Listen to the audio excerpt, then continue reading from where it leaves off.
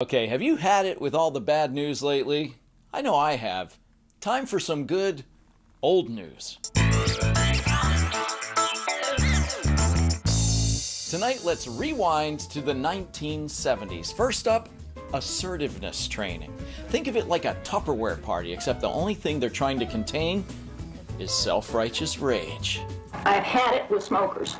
I've really had it with them. I want you to put the cigarette out. I don't want you smoking at all around me because it means that I can't be here comfortably if you smoke. I just hate it when Mom and Aunt Jan are drinking. Sex fruit. That's right, sex fruit. Produce vendor Leon Franco knows all about the sex fruit. New Zealand sex fruit. What do you, sex fruit? What happens when you eat them? You get loaded with hormones, turns you on. Jean, I brought you a present today from the market. I got you a New Zealand sex fruit, a kiwi fruit. Thank you, Wendy.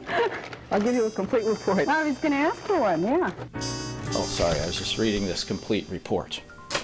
You know, back in the 70s, there was a big debate over the safety of nuclear energy, but Ron Robinson, nuclear executive, says, guys, you've got nothing to worry about. Well, I think that uh, the philosophy that we're looking for in Excuse me, uh, Ron, should all the lights be blinking like that all at once? Should use to further benefit. I'm sure it'll be fine.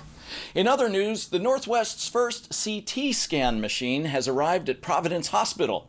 Who wants to go first? It may look like some sort of guillotine. Never mind. And now, a word from our sponsor. With summer almost here, Pay 'n Save's mailer has some great values in outdoor items. Forget the outdoor items. A couple of Soviet flight attendants just called and they want their jackets back. Cold War humor. Now over to you, Jean. And perhaps giving a hint about Mike, his own future. Gene Evans is said, talking. the hardest thing about giving up That's the little governorship is giving up the power and the...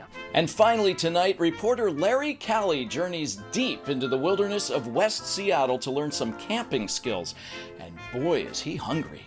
The food class had special appeal to this reporter. After eating, it's time to bed down for the night. Sometimes on the top of a mountain, that's hard to do, especially in a 50 mile an hour wind and rainstorm. This is Larry Kelly. Hey, Larry, it stopped raining. You can take off the whole. Well, that's it for now. That's old news.